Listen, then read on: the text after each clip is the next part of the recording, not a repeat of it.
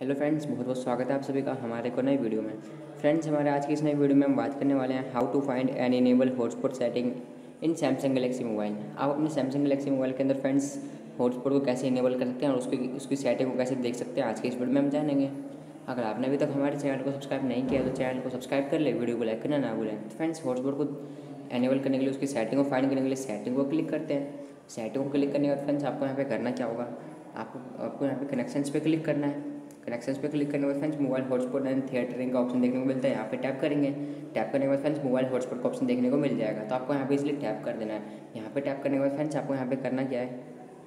यहाँ पे friends easily off का ऑप्शन देखने को मिलता है ऑन पे क्लिक करना है और ओके पे टैप कर देंगे। फ्रेंड जैसे यहाँ पे ओके पे टैप करें तो आपका हॉटस्पॉट इनेबल हो जाएगा।